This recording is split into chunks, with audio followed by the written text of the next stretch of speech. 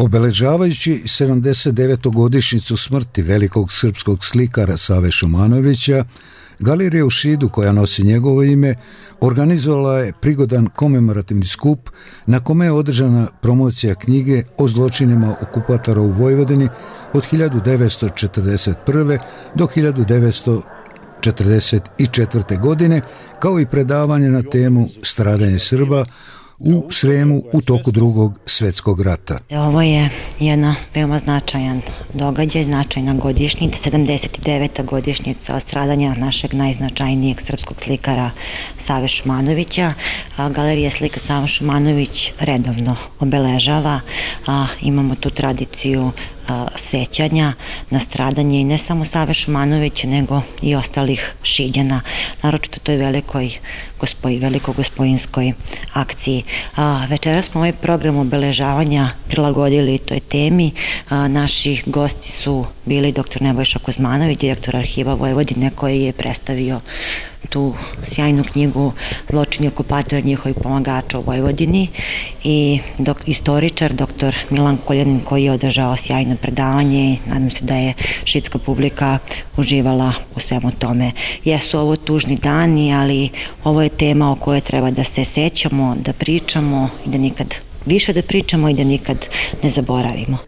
Arhiv Vojvodine u posljednjih nekoliko godina pokrenuo niz projekata koji za cilj imaju utvrđivanje konačne istine o zločinima okupatora u Vojvodini od 1941. do 1944. godine. Tim povodom izašla je knjiga u kojoj su sadržana dokumenta i činjenice koje govore o velikim zločinima fašista i njihovih saradnika. Štampanjem ovih publikacija Arhiv Vojvodine želi da se istina o stradanju Vojvođana nikada ne zaboravi, ali da se istovremeno spreči i pokušaj revizije novije istorije na ovim prostorima. Kada smo pomislili da se sve već zna o drugom svetskom ratu, pošto je to predmet naše e, priče i istraživanja, pokazuje se da se mnogo toga i ne zna. E, zato je potrebno otvoriti arhive, u nekom metaforičkom smislu kažem otvoriti, ali šta to znači? Potrebno je i mi kao državne ustanove da angažujemo svoje resurse kroz svoje programe, da istražujemo, odnosno da pronalazimo u postojićim dokumentima koji postoji u arhivama dokumenta koja su bitna za otkrivanje istina koje pokušavaju u modernom dobu ili postmodernom dobu u kome živimo da se relativizuju ili da se nega, nega, negativno prikazuju, odnosno da se revizionistički prikazuju. Zbog toga su muzeji galerije, ali naravno pre svega arhivi ustanova najvažnijeg značaja, jer se u njima nalazi originalna arhivska građa, arhivska dokumenta koja govore o stradanju ljudi. Među onima koji su najviše stradali u toku drugog svetskog rata su stanovnici Srema.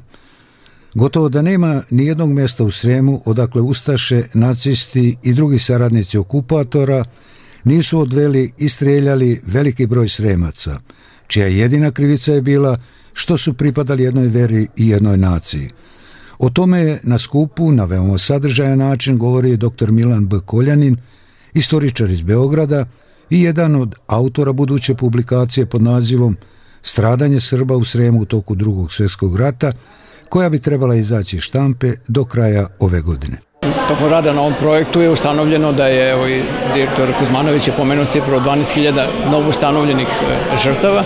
Sve što treba reći da je, da je e, više nekoliko hiljada duplikata, du, duplih imena bilo u dosadašnjim popisima, tako da se poka, e, već iz tog razloga se pokazala velika opravdanost za snivanje jednog ovakvog projekta koji je e, značajan, dakle ne samo zbog što pozdanijeg e, popisa žrtava, jer mi dugujemo zaista da pomenemo svako ime e, onih ljudi koji su izgubili život oko drugog svetskog rata u Sremu, nego i, i projekat obuhvata i stradanja e, kulturnih materijalnih dobara, zatim ono što se zove kultura sećanja, dakle popisani su i snimljeni su svi svi spomenici na teritoriji Srema posvećeni stradanjima tog rata i obeležavanju antifašističke borbe, što je posebno važno jer e, često se gubi iz vida koliki, koliki je značaj i koliki doprinos e, naroda Srema celog srpskog naroda i, narod, i drugih naroda i Jugoslavije, naravno to je sad